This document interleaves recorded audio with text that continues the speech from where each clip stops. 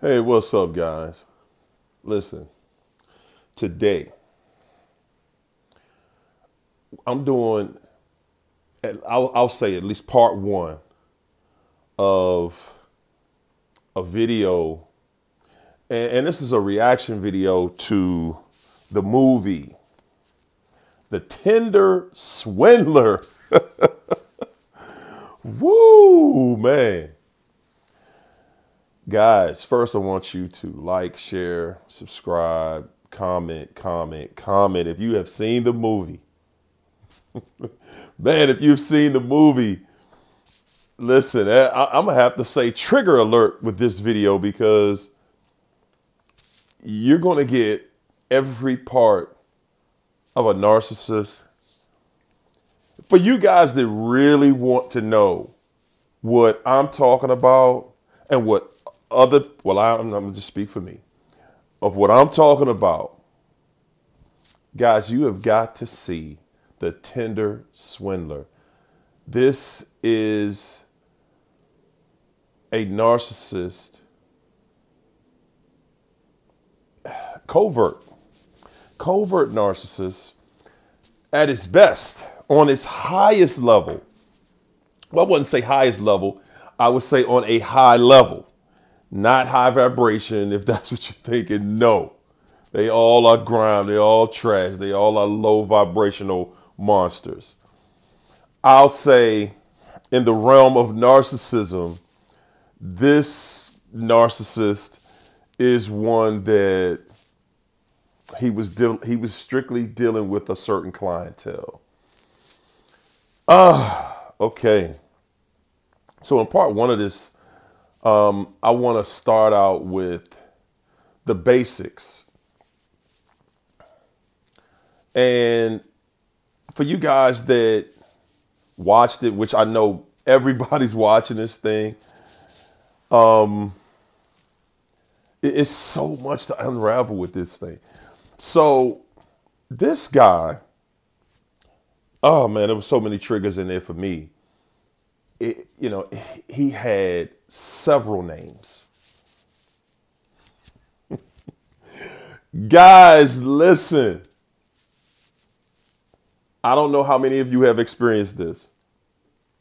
I have, okay? Uh, not not on quite on that level, but yes.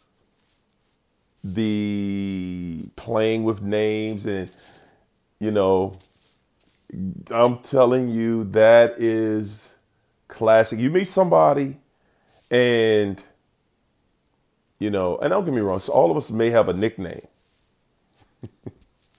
but we don't have several. And you can't be the only one that calls a narc you just met that nickname or new name. Okay? Guys, when you meet somebody that has a name, when you meet them, and then you start finding out different things about that name, and you find out you may be the only one using that name or other people may be using it, but all of you have the exact same position. Yeah, chances are you're dealing with a narcissist. And I'm calling that a narcissist because that is to deceive you. Okay? That is to deceive you. And, that's what the devil does. They're here to deceive you this person, this guy that they that, that they showed in the movie, you know, I mean, he met the women that he swindled on Tinder. And he did things like he would take and he, he would front he would front like he was rich. He he would, and I mean he would front like he was rich, not you know like he's okay. He was front like he was rich. You know, nice cars. He had you know Bentleys and Rolls Royce, Ferraris, Lamborghinis. He was doing the most. I mean, everything he wore, designer. You know, and every transaction that he made was high high dollar. But guys, I want you to, And, and this is for you guys who really do make that kind of money. You know, listen, if especially you guys who make that kind of money, you know a swindler. You can't fake being rich for long. You can do something to attract people's attention. And he was a master of that. He was a master at attracting and getting your attention. He had the right clothes on. He had the right look. He was, he, you know, he had the right build. You know, he had a small build, clean cut guy. You know, um, they they let they they actually had different recordings of his voice throughout the movie. So, and and, and it was man everything about it, man. There's so much I want to just get into, but he it, it, for the women that met him, he knew to meet them in certain places. Okay, he's going uh, he's going to meet you at the high end hotels, the Four Seasons, the the Mandarin he, he's going to meet you at places and tell you just meet just meet me there like it's casual, right? But what, what nobody really picked up on was that initial meeting. He wasn't really spending any money on anybody, guys, and that's what none of the women really caught on to. They saw this image and they trusted it. They said, "Nah, nah, dude." You're not just going into a Bentley dealer and get one of those, you know, just because you're a good swindler. You're not going to swindle them out of that car. You're surely not going to go in a Rolls Royce or a Ferrari dealer and swindle those guys. They've seen the best of it. That's one place that you're. I'm, I'm, you know what? I'm a shout out the car dealers, the Rolls Royce, the Bentley, the Ferrari, Lambo dealers because you ain't going in that dealership and walking out of there and swindling people with out of that money. It, it's not going to happen. It's not going to happen. Okay? it's not going to happen. They've heard every lie and they know how to detect that liar. Oh, man. But the women that were thinking that this guy had it together, had it going on, they were just, mm, they were easy prey. He hung out in places where people who had money hung out. You know, he would fly to different countries. You know, he was always in an exotic location taking pictures. Okay? Now, none of those women that he met, none of them, none of them knew from the beginning that he, he built this image up based on him using women and their money. The dates that he took women on was money he swindled from other women. Guys, and I'm saying this, a lot of us go through that and don't even know it. A narcissist will come to you and always needing something, always wanting something, and we're trying to do the best we can to keep that image up for them.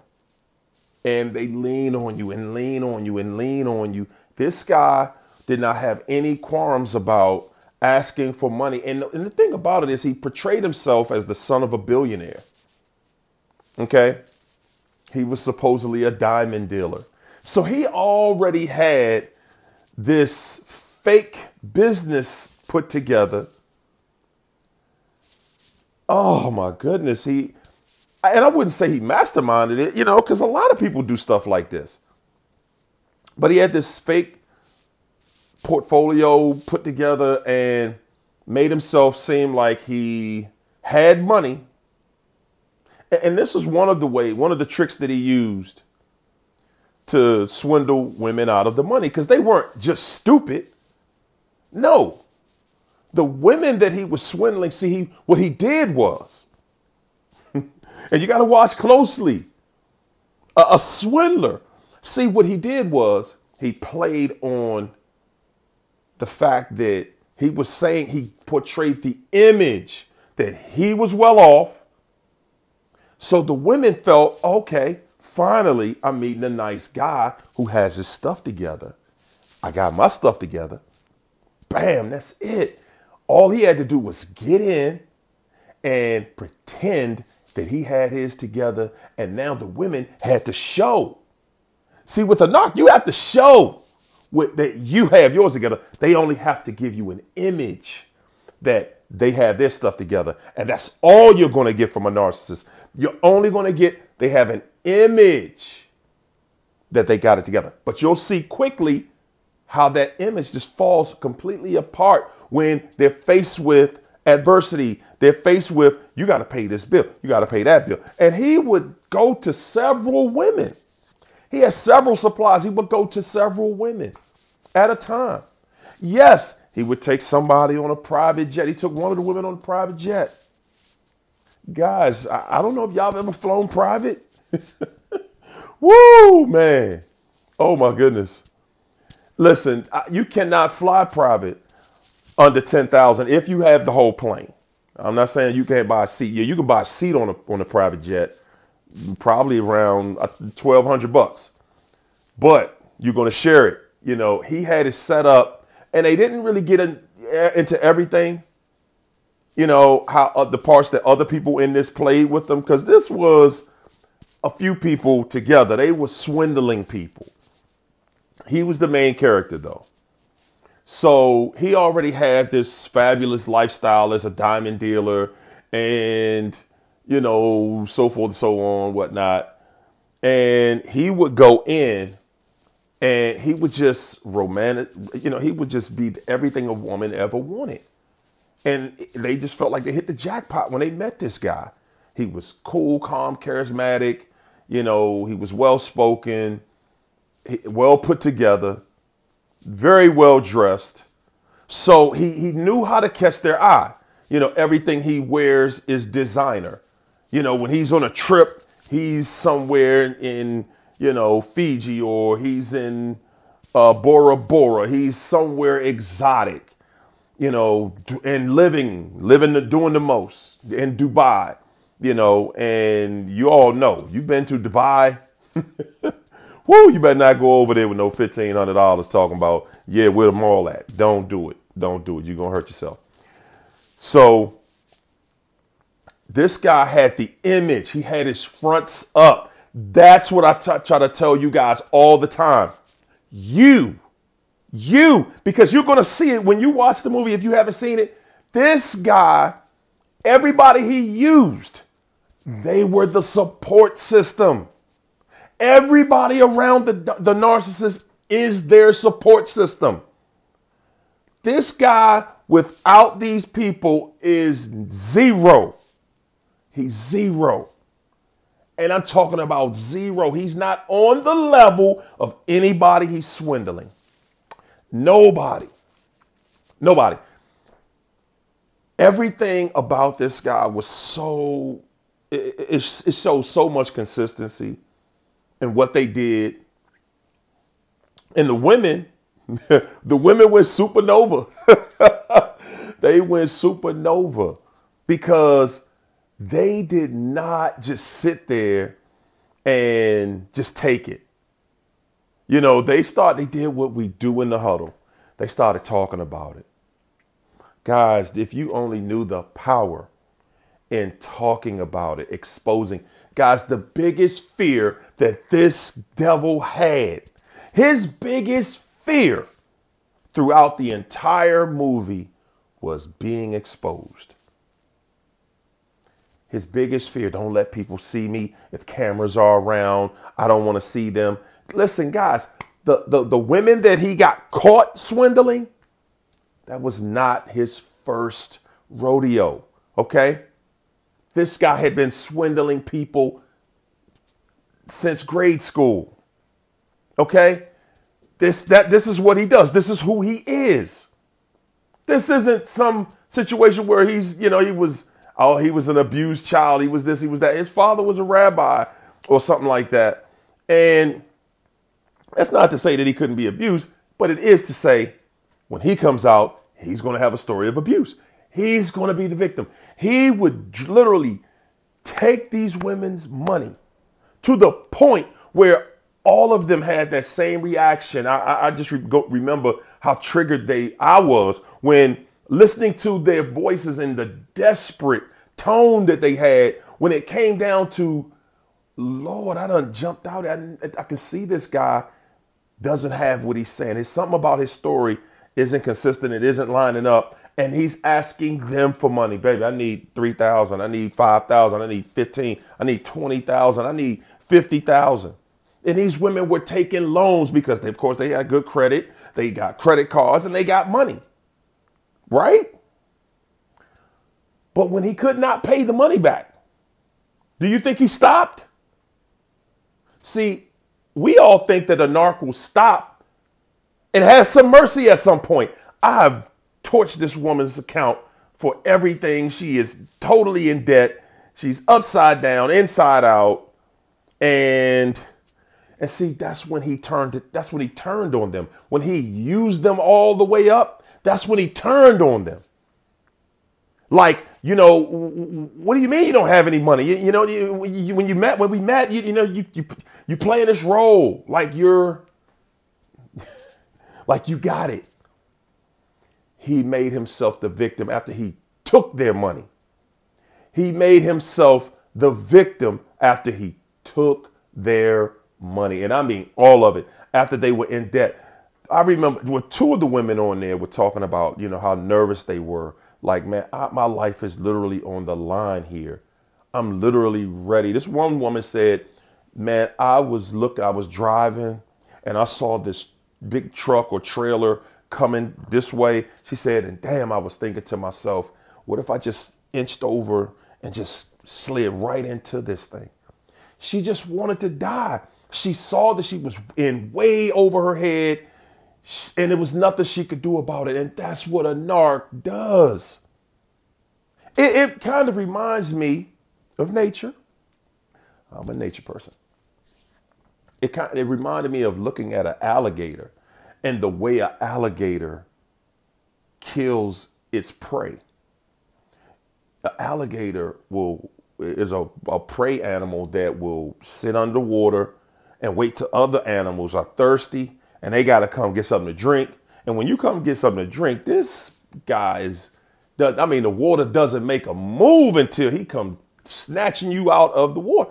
Come out of the water and snatch whatever he was grabbing back in the water. He snatches it aggressively, pulls it in, and if the animal doesn't see what's going on, an animal's fighting, not thinking you're full of adrenaline, you're fighting. And now this alligator has you way out here in the deep water. See, the alligator's not trying to completely do what he wants to do to you right here on this shallow water because you can fight back. He want to get you in that deep water where you got to swim and fight. He knows you're not a swimmer. He knows you're not a swimmer. I got you in this deep water. It's a wrap. it's over. Now your lungs are full of water. It's over. That's exactly what this swindler did to the women. He pulled them out viciously, pulled them out in water they'd never been in before. He put them in debt that was so serious. It was, they were like, and it's the typical story of a narcissist because he got him in so much. And it's just like so many of you. You're thinking, wow, man, this person really owes me a lot of money and I need that money back. I need that money back. So they're not willing to just leave him alone because you're like, dude, I'm, I'm too deep in with you here. I'm too deep in with you. That's why a narc wants to marry you. That's why they're selling you that dream, you know, children, family, and we're to have a house on the hill and, and a dog and a picket fence. They're selling dreams because that's what they need you invested in. And once you invest, they're to keep pulling you deeper and deeper. And that's when you're like, I can't get out. And as soon as everything goes to back down to hell, because it always does, it crashes and burns, that's when the narc turns on you. It's your fault. You did this. You need to get us more money. That's when the mask comes completely off. And you're thinking, hold it, dude, you got us in this. He doesn't, the narc doesn't care. The narc is going to, at that point, become the victim. And that's exactly what he did. Listen, you need to, you need to do anything we need to do. Now you're talking about a person who said he's the son of a billionaire. He's a multimillionaire. Now he's telling you go pawn something. He said, listen, I got a watch collection full of uh, Peugeot watches, Cartier, Rolex, Hublot, you name it. All of the high end watches. He has a watch collection. He tells her, he tells one of them, and I'm positive he told several, it wasn't just one. He tells women that he knows this woman is above going to a pawn shop. She's not about to go to a pawn shop. So he tells her, listen, take this uh, blow. go to the pawn shop. You know, this is a hundred plus thousand dollar watch. You know, they'll give you at least 50,000 for it. That's the money I owe you. Guys, do y'all think this fake fraud walking around with a real Rolex? Do you think he actually had those cars? No, you can go right on something like Turo. You can go to a local service. You you go to Miami, eh, you know, that's all you're going to see. People Ferraris and Rolls-Royce rentals right there. You can rent it for the day. And that's all this guy was doing. That's all he was doing. The, the one woman said she took the watch to a pawn shop and they laughed her out of the pawn shop. Get get out of here with that fake mess. Oh man, guys, there are so many things to cover in this right here. There's so many different things to cover in this because this guy just was on every level after he got to that point where he would um after he got to the point where everything is gone, he's broke. You know, now he's desperate. He's using other supplies. He's calling all of his supplies every woman that hits him on Tinder. He he literally he it seems like he did a background check on them immediately because all of them said, yeah, he hit you right back, and you're like, wow. And everybody's gonna get he's gonna get an apartment with you. He's gonna talk to you about being in love with you, and they would be in a relationship with him.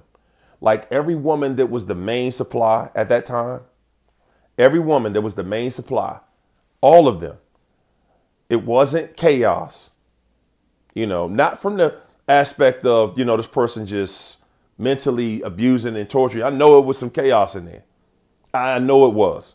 They didn't really tell that part of the story though. I wish they would have. But they were trusting this guy. And that's what I tell you guys. When a narc discards, the narc discards you and somebody else is the main supply right now, but he's still going to use you to maintain that relationship. And that's what he was doing. He was still dabbling with all of the other supplies, anybody he could tap money out of. Now, understand this guy got warrants out for him, he got different countries looking for him. This guy is a swindler. Okay? He's around, he's doing the most. He's a total swindler. But, you know, at the end of the day, it was he's using everybody. He's using all of his old resources that he could. You know, even though he's a wanted person, he kept his story was his enemies, the haters, are hating on him. So he he has to you know escape. He has to travel all the time. He has to go here. He's a diamond de- dealer, so that's a very dangerous business to be in. So he sold all of them based on that right there. You know, it's it's it's crazy. It's a crazy business, and you know, I could get hurt. You could get hurt. He got one of the women beat up. That's the narcissist selling their story. They, they will do anything they have to do to sell their story. Okay? Anything. Including get you, getting you beat up. So after you know, all of these things, the women get together, they start noticing, and You know, then somebody else, somebody, some company reached out to him and they were investigating him because they he this guy this is what he does. And and when you do your research, you're going to notice that's what narcs do. Okay? They have a background of what they're doing to you. They have a history of it. They have a history. This is not their first rodeo, guys. When times get tough, after they've used you completely up, they turn on you. But then when after they turn on you and curse you out, try to tear you all the way down to the ground, then they call you back. I didn't mean everything I said about you. Now it's the soft tone again. It's the tone that, okay, I've cussed you out. You see that I will do anything. I need you to do what I need you to do right now. And boom. They'll go back and forth. It's hot and cold, hot and cold, hot and cold. This is part one, guys. This is just part one. You know, uh, I, I don't know how many parts this video is going to have, but yeah, let me know what you think in the comments. Definitely let me know what you think in the comments. Great movie. Um, it's, it's more like a uh, uh, biography or a, um, I guess autobiography, autobiography, uh, whatever they're doing. Uh, I can't think of it. My goodness, you know that short-term memory loss here. But anyway, I suggest you guys go on Netflix and check it out. It's a great movie. Um, and it's a true story. you're going to be, listen, you dealing with a narcissist, you're going to be triggered throughout this movie. Okay? Because he calling them all kinds of stuff. He doesn't, he's doing the most. Okay? They went super empath on him. Listen, I want you guys to like, share, subscribe. Uh, most of all, I want you to comment on this video. If you're not a subscriber, you know, I need you to subscribe. You know, I'm pushing this 100K. Need y'all help? Come on. Come on. Let's get me there. Let's get us there to this 100K. And if you need coaching, guys, you need coaching, reach out to me on my website, harryoverthetopinternational.com, or you can inbox me on uh, you can inbox me on Facebook Messenger or Instagram Messenger. Also follow me on TikTok and Twitter. I'm on Twitter also. All right, guys. Thanks. See you in the next video.